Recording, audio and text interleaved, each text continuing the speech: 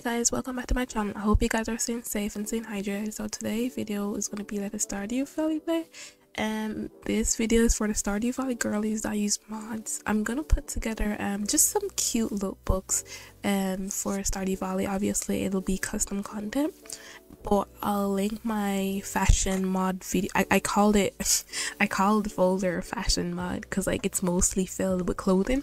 So I'll link my folder with all my clothing that I downloaded and including here. It's like basically every clothing in here in my game, as well as um what's the mod called? The fashion mod. I don't remember the name right now, but I'll remember it. So mind you, that's also been included in it. So if you have the mod that allows you to like you know have um inject like outfits in the game, then you don't have you can delete that from out of the folder. But I'm just rambling. But I hope you guys are staying safe and staying hydrated. So just let's hop into the video. So on game right now, I'm using hold on. Right now, this is just like a test. This is a test character. I didn't want to go on my actual account and kind of you know mess up everything. So i just made a new account also guys.